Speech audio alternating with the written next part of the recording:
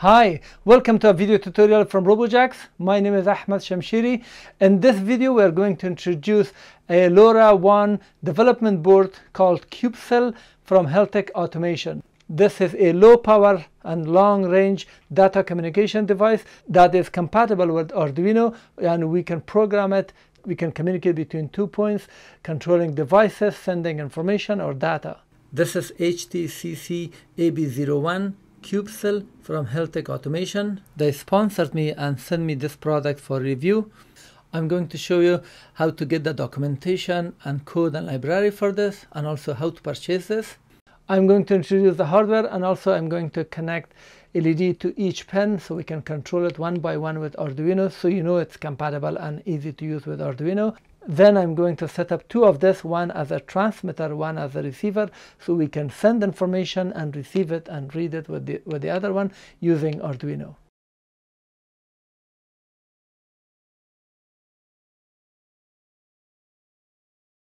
You can get the code for this by clicking at the link below the video in the description, which will take you to robojax.com slash learn slash Arduino.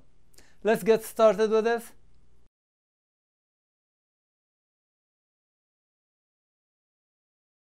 This is HTCC AB01 CubeCell from Heltec Automation. They sponsored me and sent me this product for review.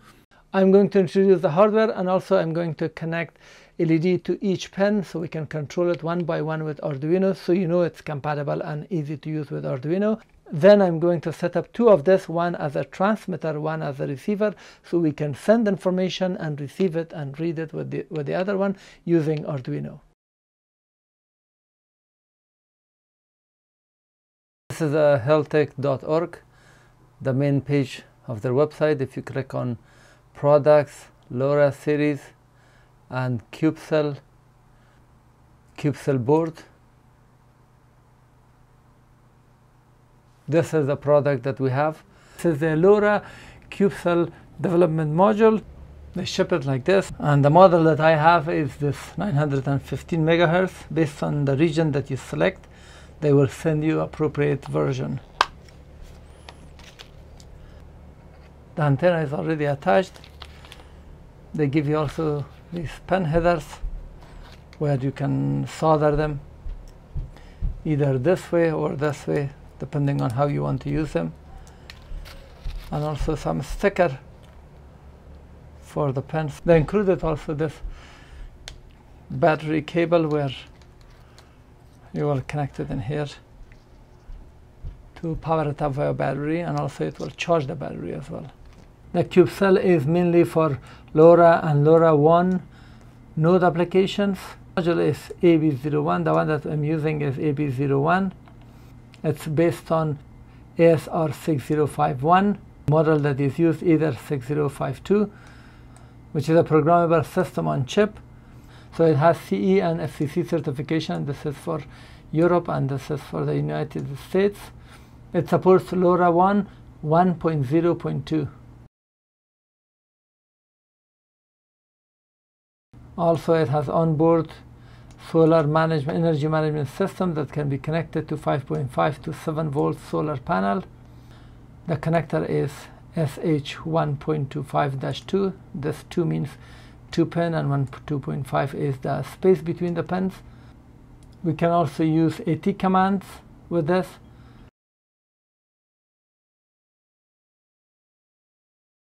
I will provide you the link to look at all those. Let's go to the main features and how we can use it. The module uh, is powered with USB and we have a user switch here and we have a reset switch. The main chip is this CubeCell this is sold also separately because this is development board. We have all these pens available with this. And we have our RGB LED here that can be programmed based on different application. As you can see here, it blinks with different light. We have CP2102. This is a USB chip. which you can program it directly. And this is compatible with Arduino and it has tons of example. So I, am going to use a pair of this to demonstrate many applications. For example, we can send the temperature, voltage, or whatever you want from this module to this module. I'm going to show you all to, just send a text. So instead of text, you can send the voltage or anything you want, and also um, this this can be used independently to read, for example, temperature, uh, or use any other sensor that you use ordinarily with Arduino. The module can be operated with a uh, lithium battery where you can connect this to the connector and power this up and also when you power it from USB it can act as a charger so it will charge your battery. The module comes with this external antenna so you can attach and detach the antenna from this connector. We also have here a small LED which will power up when you turn it on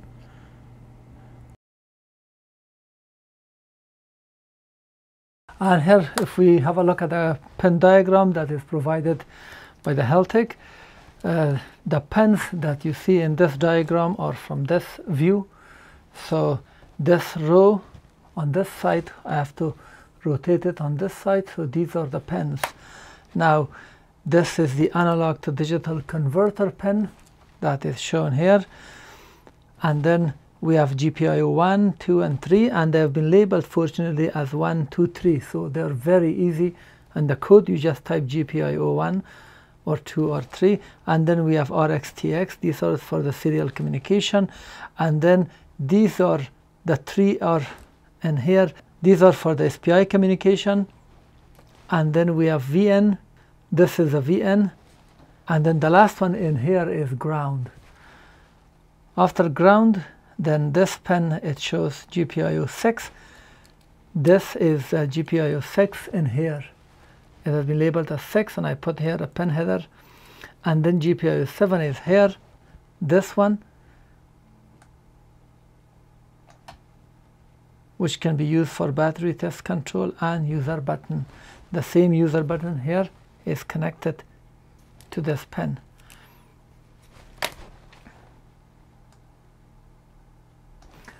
And these two pins, the GPIO number 2 and number 3 are the pulse width modulation. One is pulse width modulation 1, pulse width modulation 2. And one good thing about Heltec uh, library is that you just type PWM2 and that's the pen. You don't have to worry about any other number and also for GPIO. For all of these, these are very easy. So far that I've noticed for analog to digital converter, also the pen, you just type ADC and that refers to this pen. And on this side, which is this one, you see on the left side, which is this one, this is the reset switch, the last one here.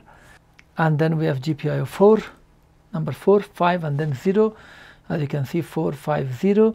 And then these two pins are SDA and SCL, SDA and then SCL. After that, we have a ground, GND pin, ground. Then V external, th this is the pen to the same GPIO pin number 6.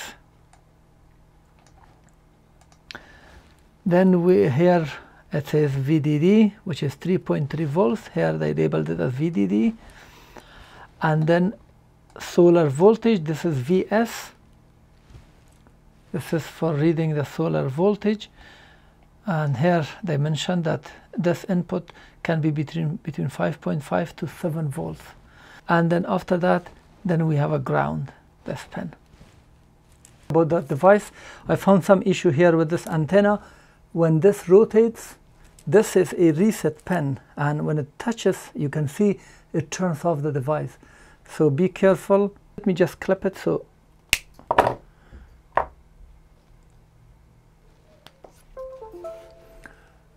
now this is on. Now it's not touching. So make sure to take care of this. This should not be long. Now it's very short. Length of the module is 41.5 millimeters. The width is 22.8 millimeters without these switches. And of course the depth without the connectors is 6.5 millimeters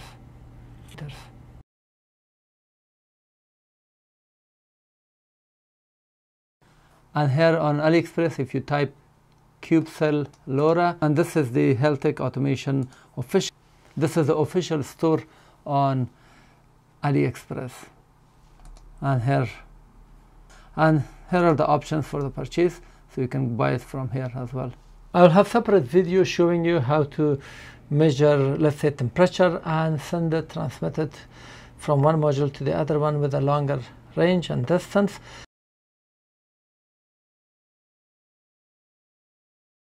uh, let's open an example where we can control this RGB LED so one module can be used to demonstrate something and also you will learn how to use an example. Uh, click on File, Examples and scroll down under, under cube cell Board, RGB and here we have RGB. Put the code.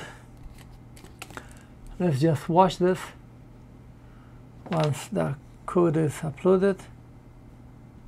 Now as you can see this is the colors. Let me turn off the light perhaps you will see better colors.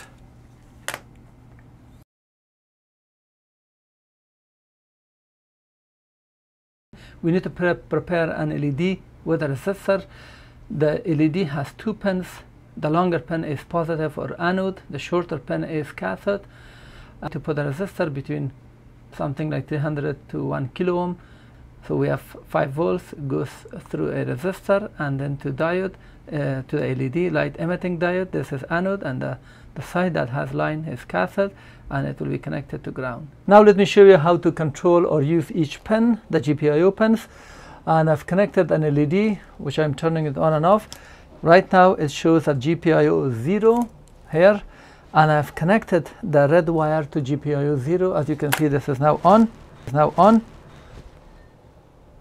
Changed it to GPIO 1 uh, and connected it to pin 1 and the LED is now blinking.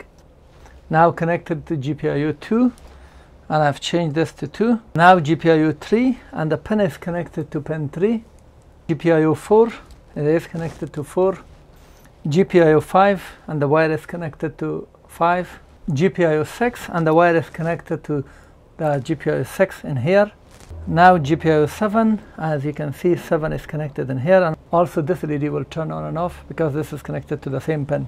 GPIO 6 is also to control the V external VEXT.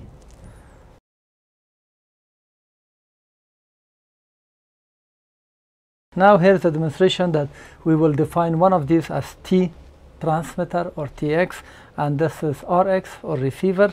We are going to send some text via this and then receive it in here. So this is a very basic example. I will have a lot of other videos related to this later on. Uh, please make sure to subscribe as I will have a lot of other videos for the other products. For example, for this wireless stick light, Wi-Fi and BLE. And this is a Wi-Fi BLE wireless stick. This is stick light. And also LoRa Node 151. LED module.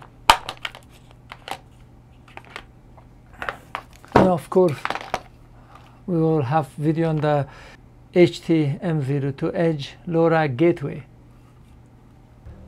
First I'm going to connect the TX or transmitter and let's load the code. Uh, so first let's go to file example and scroll down under the Heltec in here go to LoRa basic and then sender. LoRa sender. This is the code that we are opening. To work with this first we have to set our uh, communication port go to tool make sure the board is selected. If not go to board and then scroll down to Heltec and then here select CubeCell HTCC AB01 once that is selected, then from here we will select the region, the frequency, the, the one that you bought. In US and Canada, we have 915 megahertz standard. That's the module that I have. If you have something else, select that. The rest we don't need any setting. Then go to the COM port and make sure that the port that you have is selected. Now I will leave this in here. Now we have to launch another instance of Arduino. This is very important otherwise you will not be able to open the serial monitor. So open by clicking a new uh, instance I'm opening it. Now this will allow you to select another port. I have separate video explaining and showing how to have two different serial monitors for two different ports. And now I'm going to connect the receiver. The receiver is now connected. The board is selected except the port. Now port 6 is not, that's port 21. So I've selected it. Now let's go to File, Example, and then open LoRa, LoRa Basic, and Receiver.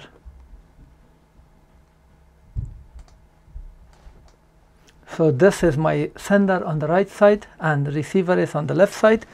All the settings are correct. Do not change it. Just select the frequency. Mine is 915 megahertz. So we have 915 and we have six zeros. The rest we do not change. Absolutely nothing. And the same thing for the transmitter, for the sender. Same thing, select the frequency. The rest, we don't change anything. This is the text that we are sending. This is just printing it on the screen, but actually send is done this line. So we are sending it as an integer. So this will be converted. Uh, this is by reference, and then we are converting them to integer, and this is the length that we are sending.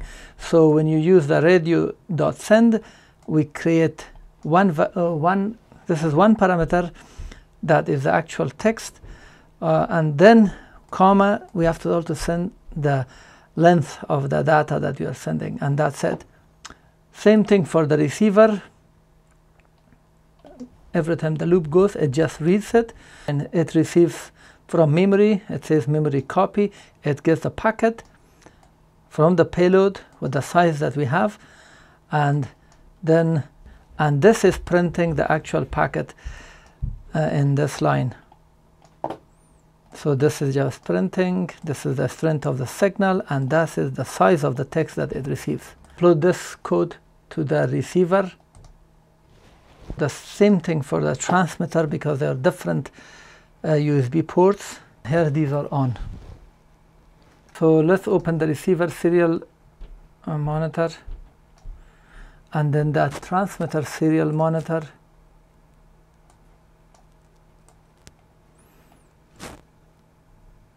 So this is, it says sending hello world and that's the number and here we are receiving it. The same number that you see here is shown there.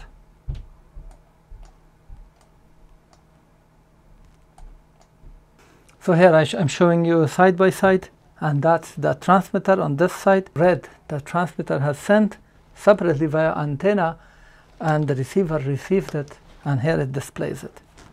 And here, when you want to send your own text at this line inside a quotation, put your text like that. For example, Robojax test this, it shows Robojax text. And as you can see here, the strength of the signal shows minus 1, 4. So this way you can send your own text. And here is an example of using this as a transmitter, this is a receiver, and I'm using a push button here to send signal to turn this LED on. And it shows that signal received the LED or the load whatever you want you turn it on wirelessly and then press again or turn off. So I'm just toggling it. Because this needs a lot of explanation I will have separate video on that. I'm going to show you how to control an LED and also control a relay with the same method Thank you for watching a LoRa tutorial by RoboJax. If you learned something and found this useful, please thumb up as this will help my video in the search algorithm of YouTube. If you have comment or question, please post it in the comment section below. I try to answer and reply. And make sure to subscribe as I will have a lot of other videos related to this topic.